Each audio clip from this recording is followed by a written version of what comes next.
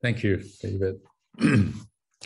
um, yes, as uh, David said, we have collapsed or condensed uh, four chapters of that book uh, into one outline.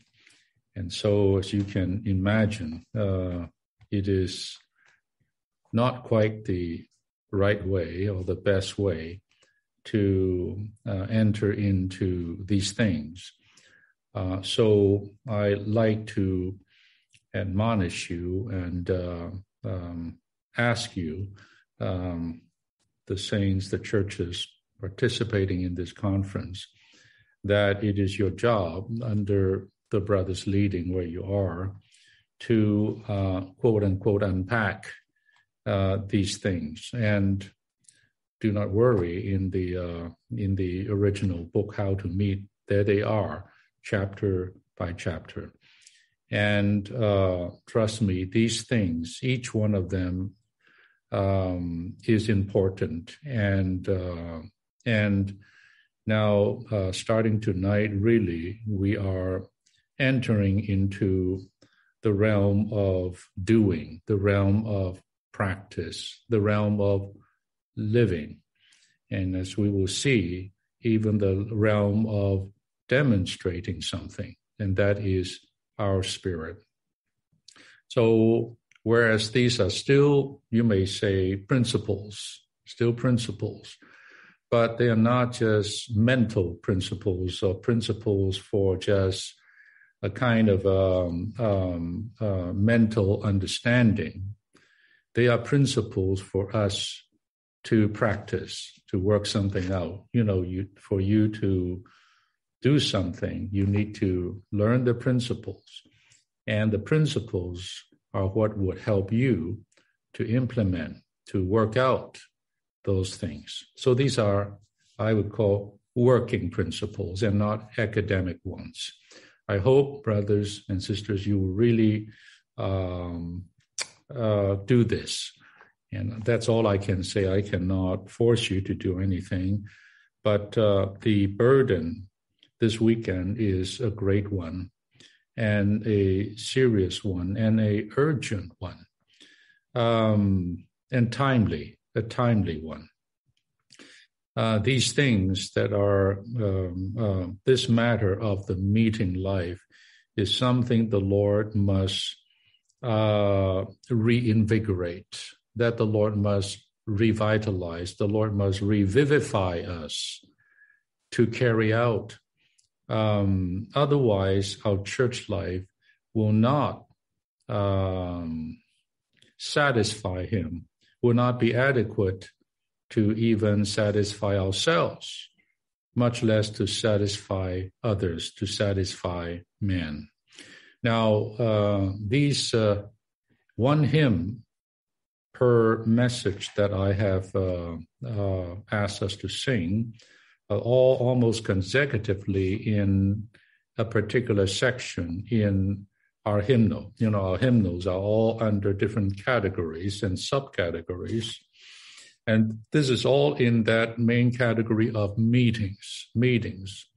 And I suppose uh, these uh, hymns are not the most popular one. In fact, they may not be sung uh, so much among us. And I did choose these hymns deliberately for that reason, to familiarize us with them so that we can use them as we go forward in our renewed practice of the meeting life. They are all written by Brother uh, Lee himself, and uh, what can I say? I can tell you this that as a young man and uh, and and and even thereafter, uh, I sing I sang these hymns, and we used to sing these hymns a lot. Uh, we don't consider them as uh, you know uh, as light and as uh, as something easy. We really benefited a lot from singing them. There are actually many other hymns. If you uh, go into your outlines, uh, actually, there are quite a number of other hymns offered there, you know, in different points and and so on. And those hymns are really worth your singing. So part of the uh, studying or getting into these material is in fact not just by reading and and not even just by praying.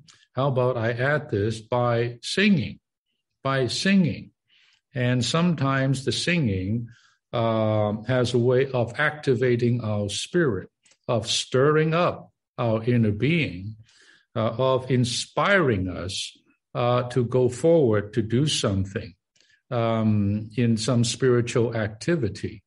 Hymns do that, songs do that.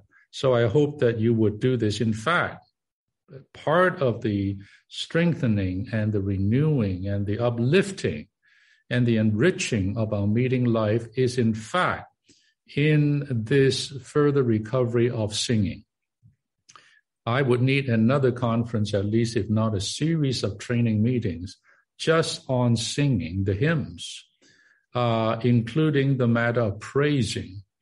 Um, this is something, again, I feel we have receded quite a bit uh, just in the singing. Even the singing, uh, in many instances, have become kind of a well, sorry to say, I uh, this morning I said something not very nice, and that is in our Lord's ta- at the Lord's table that it has become a kind of sing along. We sing, you know, hymn after hymn after hymn, and there would be not much praise that emanate from the singing. Um, we would not uh, delve in and uh, use the hymn, use the song, use the lyrics and the words to give a richer and higher praise to the Lord or to the Father, for that matter.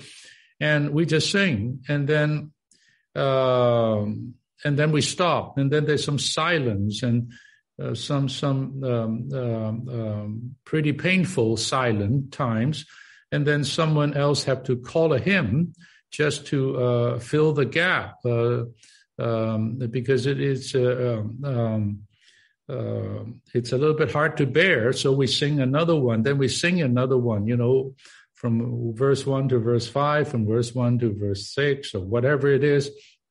And so many of the Lord's table, which should be a fervent, a time of fervent and passionate um, uh, remembrance of the Lord Himself, His life, and His person, uh, just um, um, um uh, becomes a kind of just uh, uh, calling hymns to fill up the time.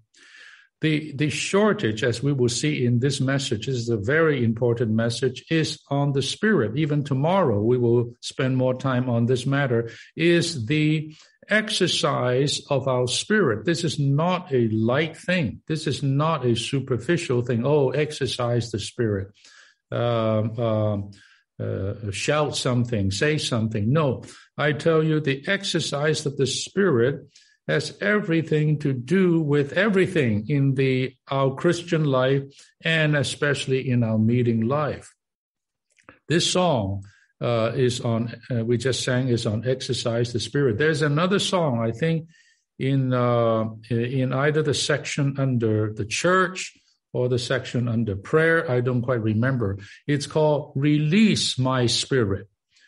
For this I pray, Re, not just exercise the spirit, it is to release the spirit, uh, somewhat similar to demonstrating the spirit. It is a strong form of exercising the spirit. It's not just murmuring something, not just mumbling something, but you actually um, uh, push out the spirit. You demonstrate your spirit. You you show, you display this your spirit, the mingle spirit. Um, uh, you release the spirit. It is by the releasing of the spirit that we what that we minister Christ, that we minister life to others, because uh, only the spirit gives life, not our human spirit. Yet today, Christ, the life-giving spirit, has been um, um, has come into our human spirit to mingle with it to make it one spirit. All right, the mingle spirit. So, according to the principle of incarnation, when we use our spirit, when we exercise our spirit and release our spirit in a proper way, the mingle spirit will be there. And this mingle spirit would include the spirit of God, the spirit of the Lord, and even the Lord himself. It is by doing that that we minister Christ to one another. You know, just now, these dear uh, young brothers and sisters from uh, Richmond, right, uh, singing uh, with enthusiasm. I like that. I hope they're not performing it for us. That is not our choir or band in the corner. I hope not. I, but uh, we we should. This is not a performance. We we don't come to the meeting to perform today the sorry situation of uh, uh, Christian meetings, by and large, it has become a performance. Even the singing is a performance. You need the band up there. You need the the drums. You need the guitar. You need whatever uh, to be up there doing something. You need the choir and, uh, and so on. It has become, and in some cases, it is a full fledged performance like what you see in concerts, what you see in Hollywood, what you see in, you know, uh, these kind of uh, uh, uh, places. Brothers and sisters, that's wrong. That is that is that is a fallen condition. That is a degradation. No, I tell you, we believers, we have been made with a mouth. Am I right? And this mouth is for speaking, this mouth is for breathing, this mouth is for eating for sure. But I tell you, we're made with a mouth to use to what? To call on the Lord, to pray, to pray, and uh, to sing, to sing. You know, uh, my goodness, uh, uh, the overcomers, they are all singers. You know, they sing a new song and uh, uh, the the Old Testament, the Book of Psalms, and and other places is just full of singing, full of making melodies, and in the epistles. Um, we are to what speak to one another with psalms and hymns and spiritual songs.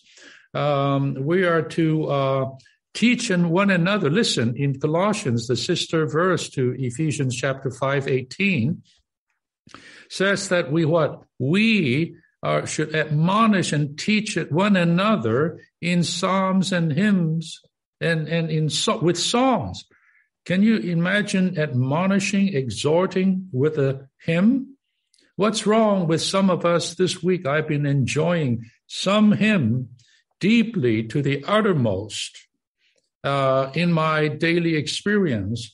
And that would be what the very produce produce that I have labored on uh, to bring to the meeting as my experience, as my contribution, as my offering to the Lord, the real offering, my experience of Christ and body in a hymn. hymn.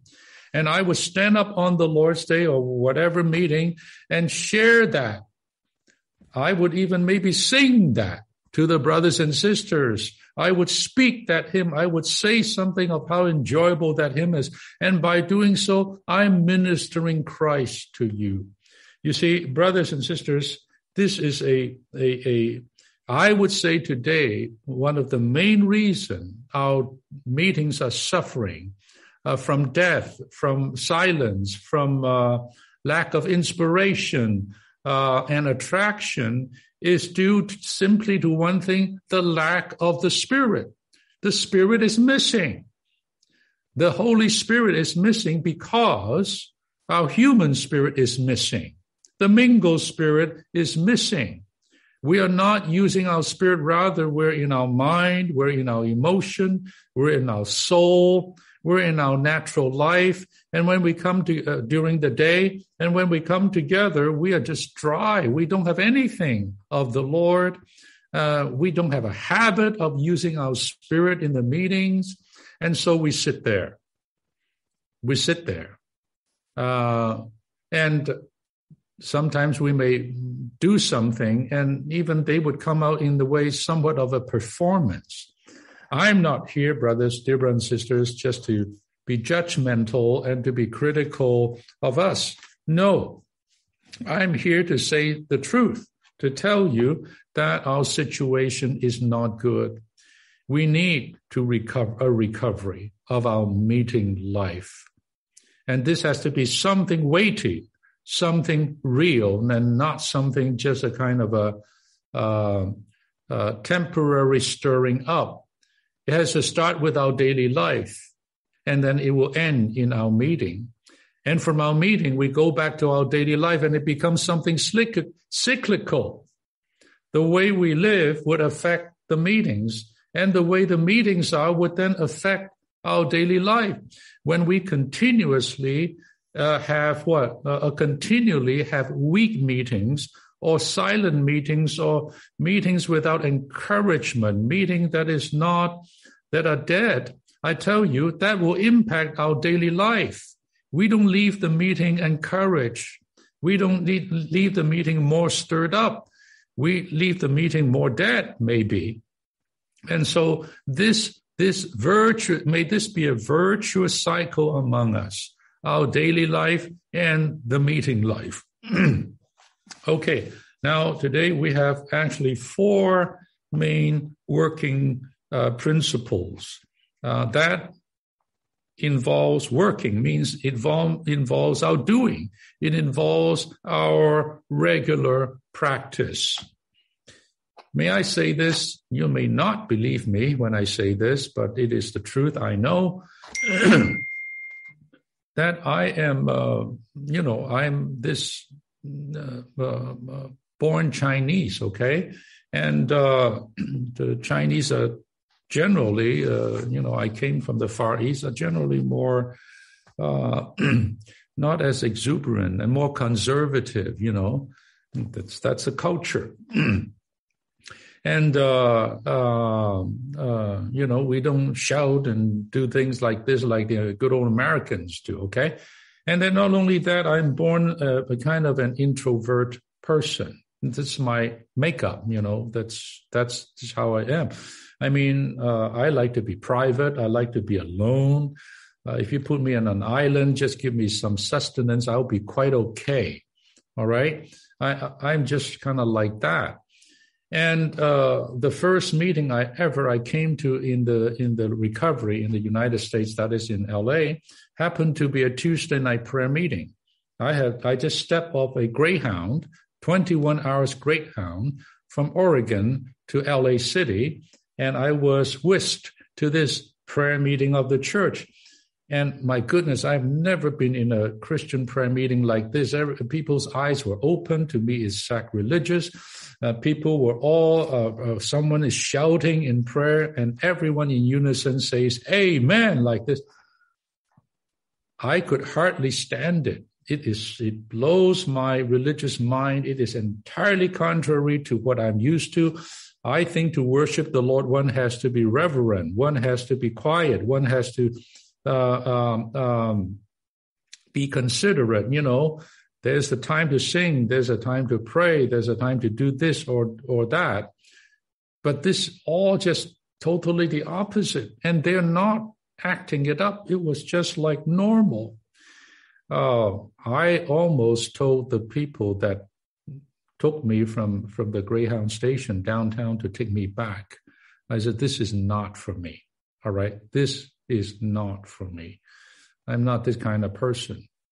Well, the Lord had mercy. The Lord is sovereign. I, they won't take me back anyway. And so it was in that week, that week, the Lord caught me for his recovery through a conference of Brother Lee speaking to young people, to young people. Not many of us, but I was there. And he spoke on Christ as the life giving spirit. He spoke on uh, uh, uh, uh, on eating and drinking. He taught. He spoke on calling and uh, on the Lord, pray, reading the Word. He talked about eating and drinking and breathing, and and, and all these things. And and and eventually, uh, in one in particular occasion, the the the brothers there who were trying to help me to come in, uh, sort of cornered me and forced me in a way to exercise my spirit for the first time. They just go around the circle, and I was there, and let's do it one by one around the circle. And I know what they're doing, but I couldn't leave. I was cornered, I was captured there. And then the funniest thing happened, experience I have was that um, while at this one, on the one hand, my whole natural religious person was just against it, was just hating this, was just wanting to run out of the door. But there is another feeling deeper within me. I feel like I am a kind of a plucked up, um, um, you know, pipe that needs to be busted through, that needs to be cleaned, that needs for, for, for water to flow for the first time in my life. And so eventually, when it came to me, I don't know where I got the strength, where I got that strength to lose my face, basically. And I jumped in. I shouted. I I released my spirit publicly for the first time in my life. This conservative, introverted Chinese young man. And I'll tell you, all, all the stuff that has been collected just there in this pipe got busted through by that one shouting. I call on the Lord. I became a different person since that point. I became a caller. I become a breather. I become a pray reader. I became a singer. Um, that doesn't mean in uh, in the in the subsequent days I don't need to fight against my disposition, to fight against my, you know, to lose my face, to to exercise my spirit. But I had the beginning there, and with that, I constantly I just told myself, this is what I'm going to do. I'm going to go against myself. I'm going to go against my face. I'm going to exercise my spirit because this is the only way I can eat, drink, and breathe Christ. This is the only way I can touch life. This is the way I can enjoy Christ. And I did that. And all the years since then, I exercise and exercise. I am not what you think, you know, a natural sitting here just to speak to hundreds and in other meetings to thousands. Um, uh, no, I'm not that type. This is not natural for me, still is not. But I like to be here as a testimony to all of us that, brothers, if we would cooperate with the Lord, if we would go against ourself, if we would stand against our natural disposition, to exercise our spirit, to demonstrate our spirit, to release our spirit, we can become that kind of a person.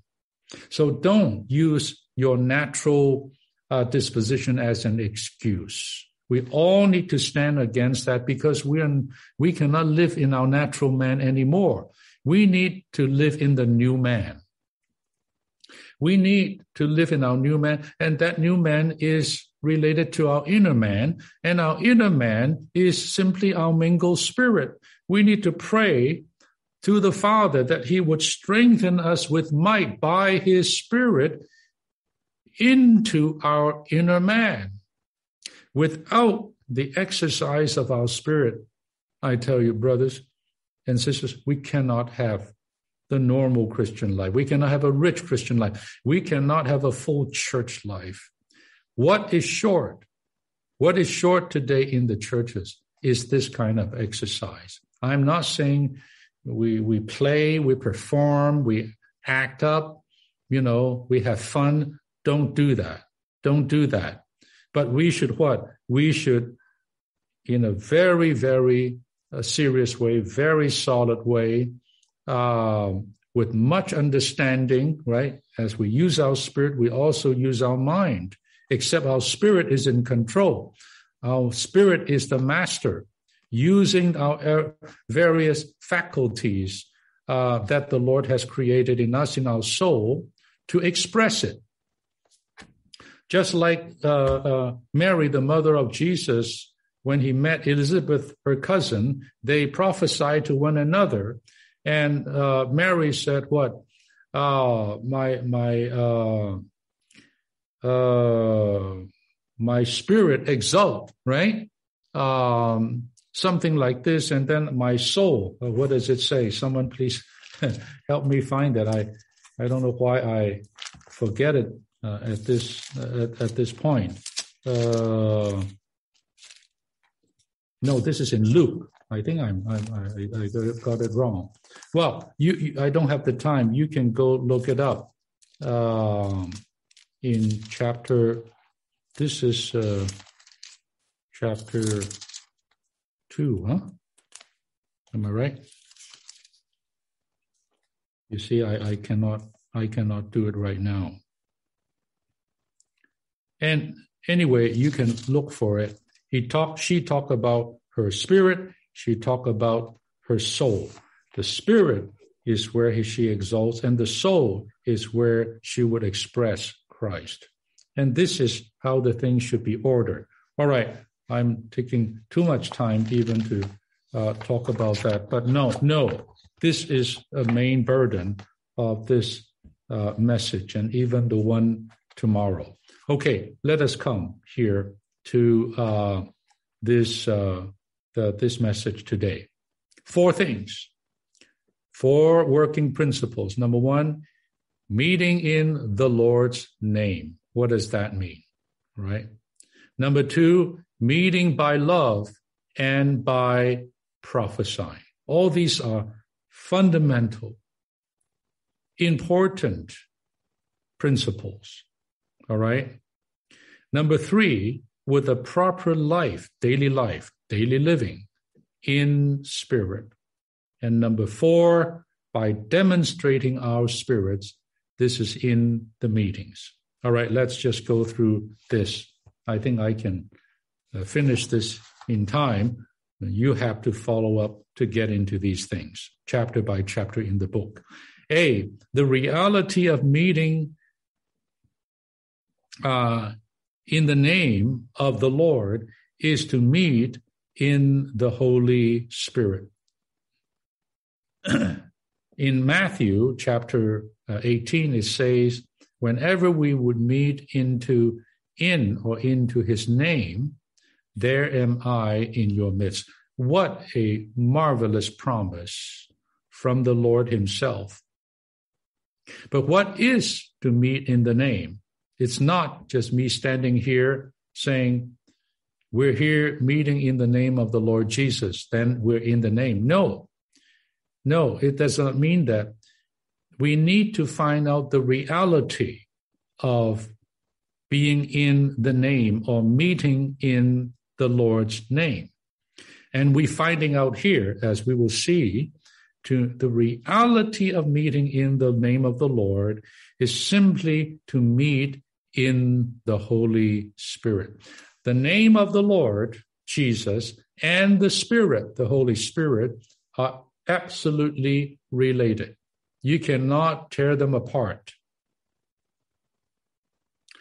Number one, concerning the truth of the Christian meetings, which is what we're covering this weekend, to be in the name of the Lord Jesus in the Gospels, you know, in the Gospels, it talk about this, is the seed of the of this truth of Christian meeting, and that's in Matthew 18.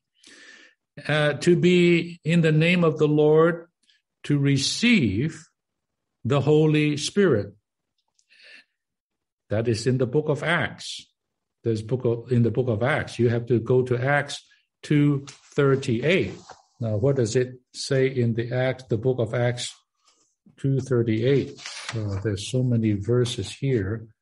Uh, it says, and Peter said to them, uh, repent and each one of you be baptized upon the name of the Lord Je- of Jesus Christ for the forgiveness of sins, and you will receive the gift of the Holy Spirit. So the condition of receiving the gift of the Holy Spirit, which is the Spirit himself, is what? Is that we need to be baptized upon the name of Jesus Christ. So the name and the Spirit are related, deeply related.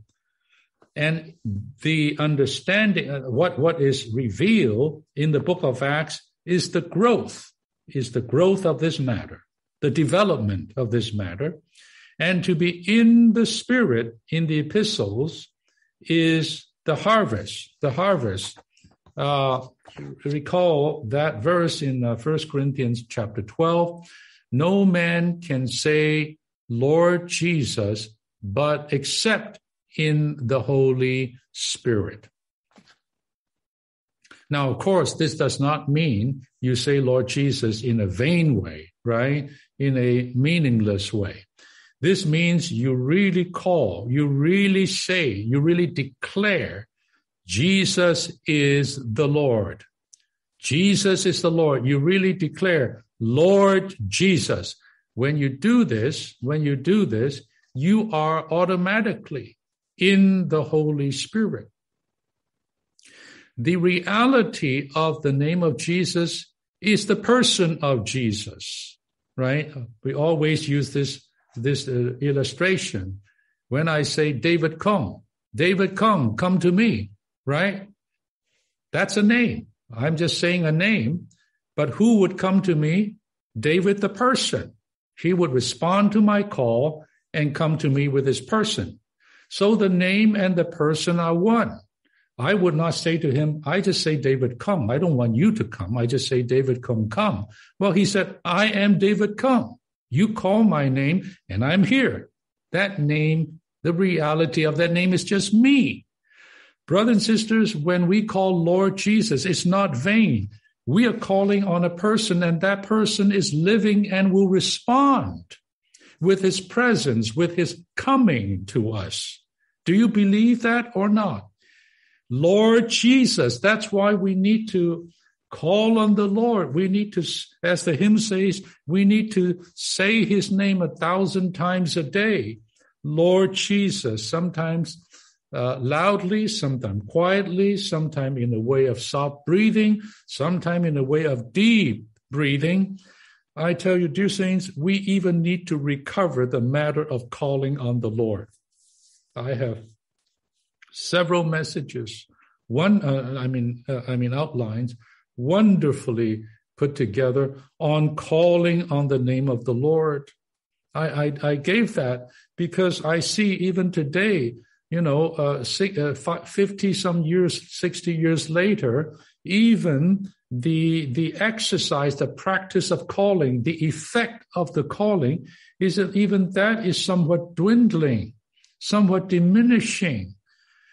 You see, we, we, we need to breathe, brothers and sisters. Okay, I, I'm, I'm, I'm going off a little bit here. So to be in the spirit in the epistles is what? Is the harvest of this matter of gathering in the Lord's name. So when we say we meet in the Lord's name, it simply means we meet in the Lord's person, and the person of the Lord today is nothing but the Spirit. The Spirit is the reality of Christ's person. All right. The Lord is the Spirit. The last Adam became a life giving spirit, you see. So the reality of that name is of Christ, not just of that name, but of Christ himself is the Spirit in our experience. Two, thus we see that the name of the Lord Jesus is very much linked with the Holy Spirit. Without the Holy Spirit, there's no reality of the name of the Lord Jesus. If David Kong doesn't exist, I can call day and night, there will be nothing, nothing will happen because he, he's not real. There's not that person, you know, in existence. So Jesus Christ exists. He is the reality. And even the spirit is called the spirit of the reality. So today, so today, um, we have the spirit, okay? And when we call on the name of the Lord Jesus, we will get the spirit. And that spirit is the reality of the name upon which we call and in which we assemble ourselves. Three, all the power and reality of the name of Jesus is in the Holy Spirit and is the Holy Spirit. In that name, you know, we, we have a lot of uh, uh, hymns on that name. Mighty name, mighty name. In that name alone we win. Am I right? It, it, it shows us today all the power in heaven and earth, all the authority in heaven and earth are all in that name. In fact, you know, before that name, every knee should bow and every tongue should confess that Jesus is the Lord, right? This name, this name is what? Is the name of authority. This name is the name of power. Everything is in this name. Whatever you need is in this name. Whatever God has to give to us in Christ is in this name. Everything. So today, we what? We just need to what? Gather into this name, and that is to gather in the Spirit by the exercise of our spirit. We enjoy all these things, all these riches, all this power, all this reality. For in John 1 uh, 14 26, the Lord tells us that the Holy Spirit will be sent in his name. The Lord Jesus promised to give us something in his name. And what he gives us is the Spirit. And it's marvelous. You have to go, go to read uh, John 14 26. The Spirit, again, is the reality of that uh, of of his name. But the Comforter, uh, the Holy Spirit, whom the Father will send in my name, he will teach you all things and remind you of all things which I have said to you. The Father, the Father will send the Spirit, but he will, the Father will send it in the name of the Son, in the name of Christ, in the person of Christ. And that, that, that thing that, or that person that he will send is the comforter. Is the comforter, the second comforter, which is the Spirit himself. Do you see this? The name is Jesus, but the person is the Spirit. Marvelous. Just this is just too, too Wonderful. Five, in 1 Corinthians 12, 3, we read, no one can say Jesus is Lord except in the Holy Spirit. When you call on the name of Jesus, you are in the Spirit. You call Lord Jesus and you get the Spirit because the Holy Spirit is the reality of Jesus. B, since the Holy Spirit today is in our spirit, now the Holy Spirit given to us abides with us and is in us. If we don't have the Spirit, we are not of His in Romans 8. Today we have the Spirit, and the Spirit is mingled with our human spirit. So today we have a regenerated spirit and a mingled spirit. How do we experience the Spirit then? We just need simply to exercise our spirit. Exercise this mingle spirit. So as we call, what are we doing when we call on the Lord? We're actually exercising our spirit and touching the spirit of the Lord. The key, the secret of our meeting together is the exercise of our regenerated human spirit. 1 Corinthians 14:32 is the strongest proof. Verse 31 tells us that we can all prophesy. Then in verse 32 follows by telling us that prophesying is just the exercise of our spirit. The spirit of the prophets are subject to the prophet. You know, brothers and sisters, when we come together to meet, we don't need to wait I already told you this morning, actually, Jesus is already there, waiting to meet with us. But he's in our spirit, in our spirit. So there's no need for us to wait. We just take the initiative and exercise our spirit to call, to pray, to sing, to speak. And as we do that, as we do that, as we exercise our spirit in this way, the Spirit, the Holy Spirit, will be present. The Lord, as the Spirit, the life giving Spirit, will be there, moving, acting, doing things through our exercise of the Spirit. You may say, My, this is unbelievable. We can bring the Spirit in, we can activate the Spirit. Yes, this is the mystery of incarnation. Today, we are not waiting on God. Today, God is waiting for us. Let us exercise our spirit more and more. To prophesy means to take the initiative to exercise the spirit. It seems that we take the lead, but when we do, the Spirit of God follows and flows out because today the Holy Spirit is mingled with our spirit. We all should have this experience. And I, as a minister, a speaker in, in many situations, I can definitely tell you too, too many times as I approach the podium, as I stand in front of the saints, there's not that much feeling. Yes, I might have prepared the, the message, but there may not have been that strong flow and strong feeling. But that's not the time for me to wait. I just begin to, by faith, you know, faith and the exercise of faith and the exercise of the Spirit are also related. We having the same spirit of faith, we believe, therefore we speak. This is in Second Corinthians. So we, I just begin to exercise my spirit to pray, to speak. I tell you, the Lord comes in. The spirit begins to flow. Utterances are given to me. The, the, the anointing begins to flow. And I tell you, then I gave the message. Dear brothers, whether we speak for one minute or for one hour, the principle is the same. Take the initiative. Don't wait. Don't be silent. Don't, don't wait for inspiration.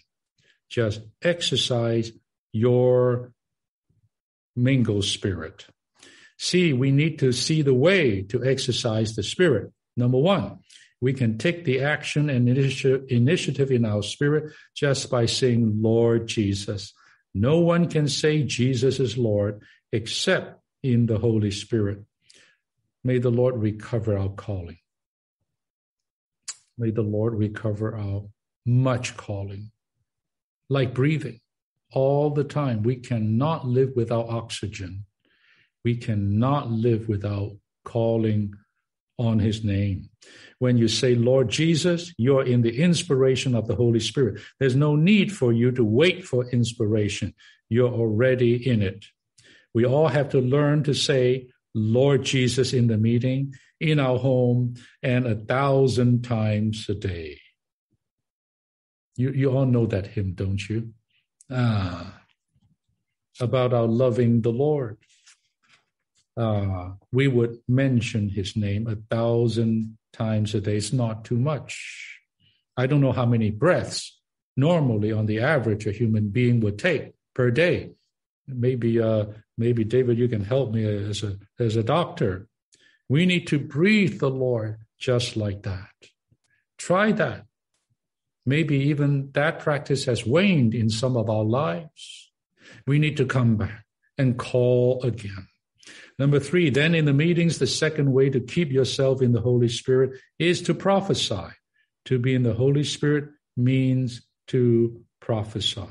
But whether we call, whether we prophesy, whether we sing, as I said, whether we pray, and sometimes even whether we praise, praise is the strongest, highest form of prayer.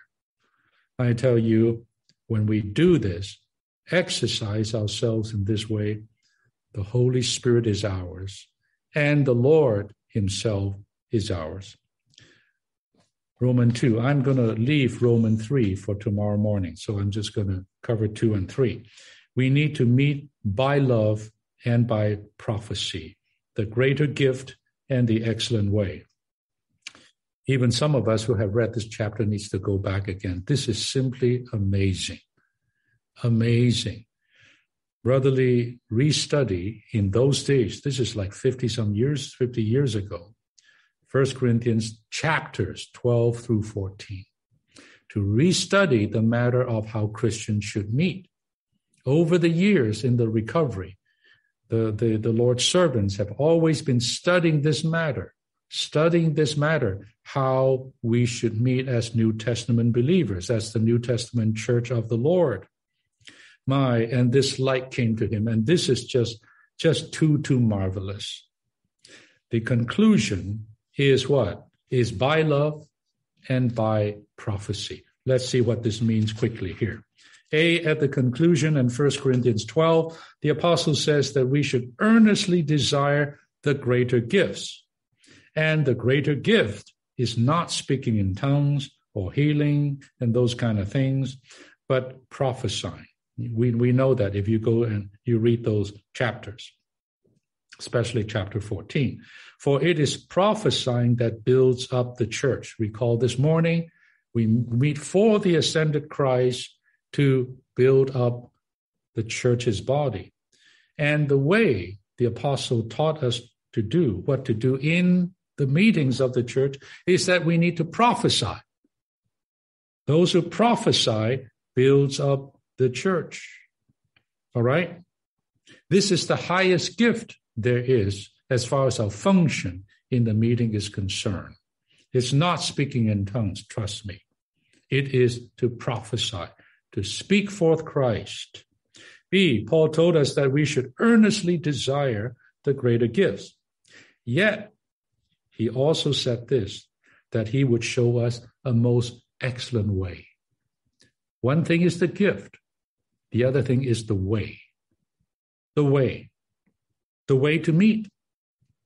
The excellent way is love. Oh, I just, I just love this. This is chapter 13 of First Corinthians. With love as the way and with prophecy as the exercise or the gift brothers and sisters, we have a wonderful working principle concerning how we should meet.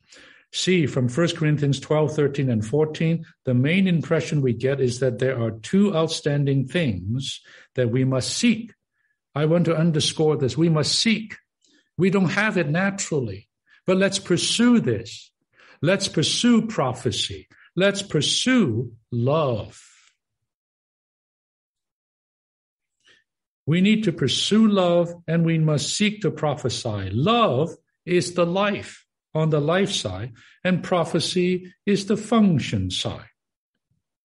You may say love is with the resurrected Christ. Prophecy is for the ascended Christ. You may say that. We need to realize that both love and prophecy are things of the Spirit, that these are the very things that build up the church. In First Corinthians, we can see that there are only two things that build up.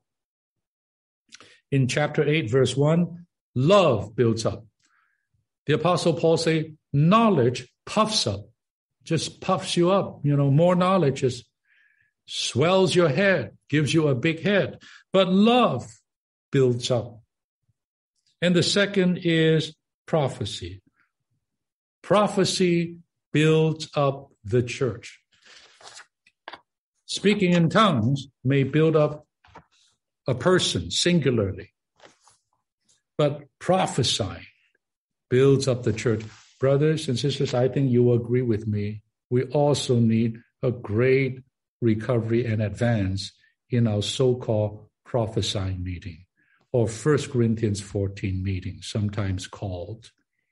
You know, it has been also 30 years that Brother Lee has promoted that meeting. We have started to have these meetings. Most churches do it on Lord's Day.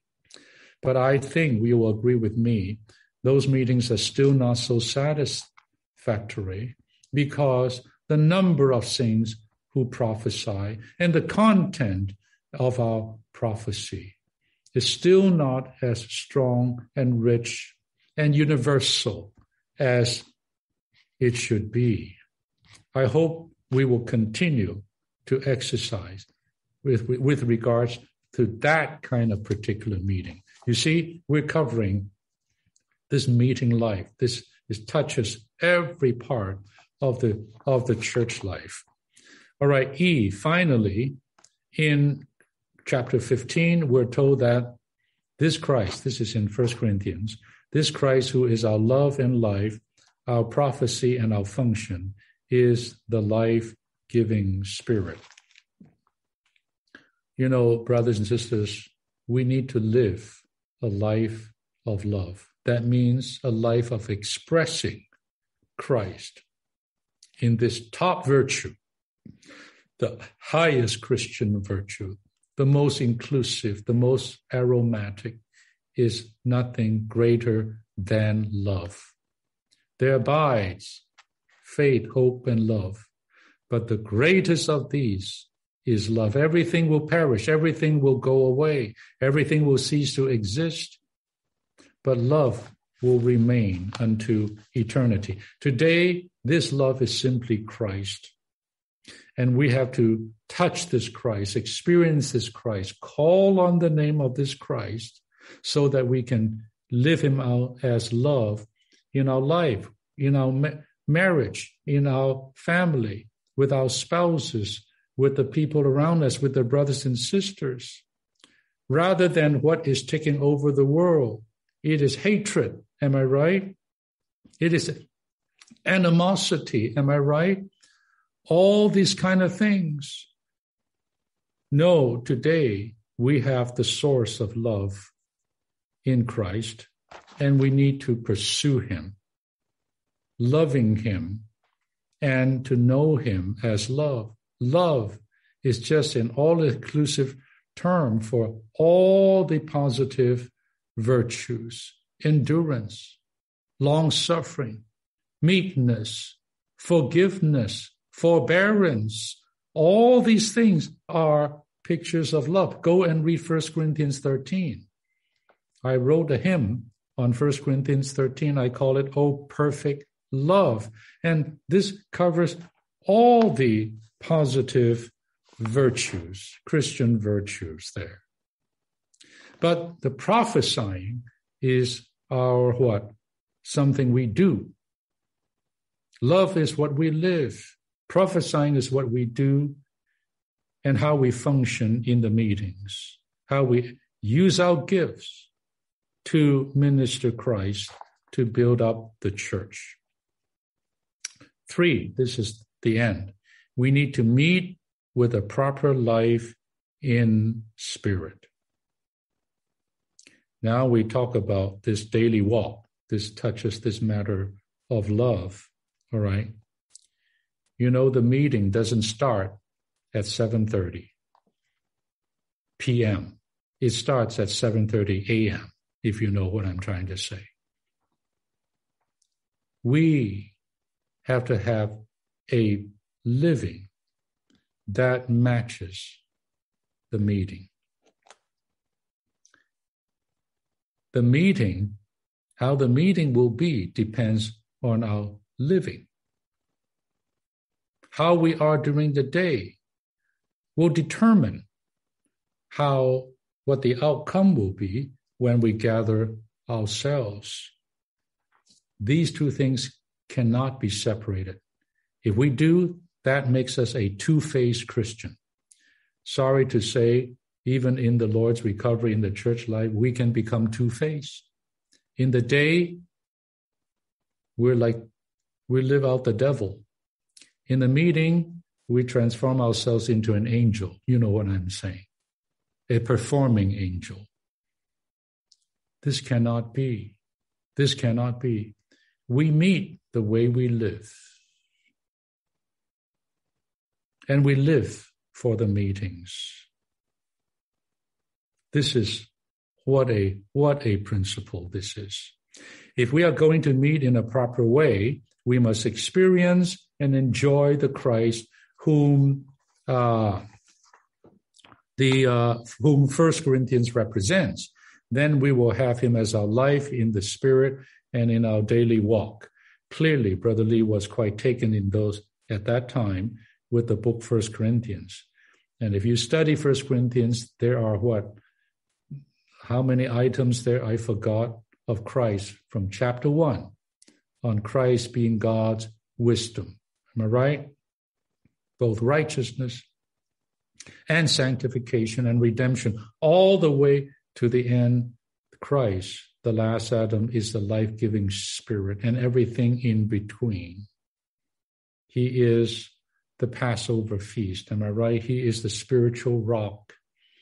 And and and and and and, and so on and so forth throughout this whole book, First Corinthians. Now we need to experience this Christ every day, and so that we can live him out, live him out, this Christ out in our life and in our daily walk. How do we do this? We just simply have to determine to walk in spirit, to live according to the spirit day by day. That's a normal Christian life. Brothers and sisters, we can do this. We're meant to do this. Don't think this is too high, but we need to practice because this is not a natural walk. This is an unnatural walk. We need to practice. We need to practice to walk in the Spirit, to set our mind on the Spirit, to live Christ. B, when we come together, then we need only to exercise our spirit to prophesy something. Uh, something of Christ. When we meet together, we can say something of Him whom we have already experienced and enjoy in our daily living. This is the way for us to meet.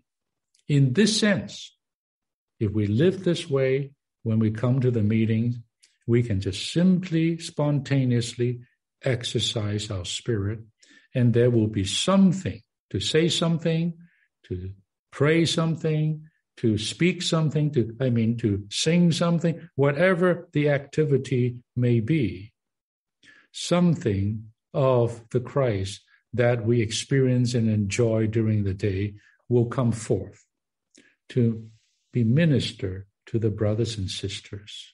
And they will be encouraged. They will be consoled. They will be built up. You see, this is 1 Corinthians 14. It's not a performance. Brothers, don't perform. Sometimes you can smell a performance. The person doesn't live this way. He just know the right words to say, the right, right prayer to utter. No, no, you can touch it. If you exercise your spirit, you will know this is not so real, right? At other times, you know this saint is overflowing. He's just overflowing something that he or she has been enjoying of Christ in his or her daily life. First Corinthians tell us clearly that God's intention is to put us into Christ and make Christ everything to us. I'll just read this. We have seen in chapter one that Christ to us is the power and wisdom of God. And of God are we in Christ Jesus who have become us wisdom, become to us wisdom, righteousness, sanctification, and redemption. Two, then Paul goes on to tell us that this Christ, who is the last Adam, has been made a life giving spirit. Now, all that he is to us must be realized, must be experienced, not by any organ of our being, but the spirit. You see, if we don't exercise the spirit in the day, in the day, we cannot experience uh, the Lord in all this multifaceted aspects, rich aspects of this Christ. In 1 Corinthians 6, we are told that the Holy Spirit of God dwells in us. And that uh, he who is joined to the Lord is one spirit. Oh, praise the Lord. You know, you just take a break from your meeting. You know, by the way, it's better not to sit so long like we do.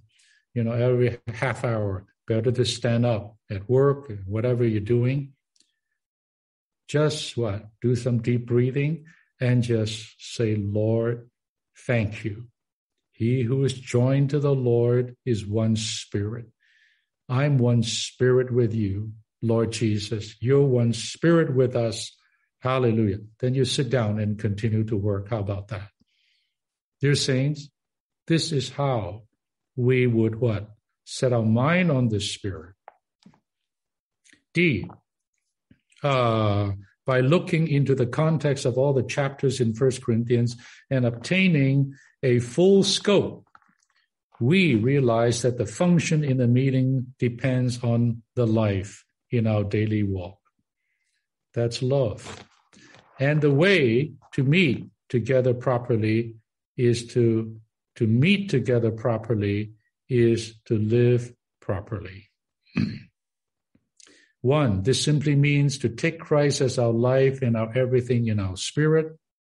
Therefore, we must learn how to exercise the spirit constantly.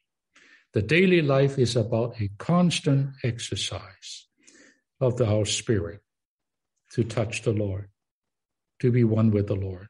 Two, we have seen that the Apostle Paul was one who did this very thing. He was so strong in his spirit, he was forever exercising his spirit. You can read these verses in 1 Corinthians 4, 5 and Colossians 2, 5. Paul's testimony. This is the proper way to live, and this kind of living is the first necessary necessity of the proper way to meet. Now you see, the meeting life has everything to do with our daily life. We mean business, don't we, brothers and sisters? Let us pursue these things. May the Lord, may the Lord encourage all of us, inspire all of us to really seriously pursue such living, to seriously what exercise in the meetings, so that there would be what a uplifting uplifted meeting life of the church for his testimony in all the churches. David, back to you.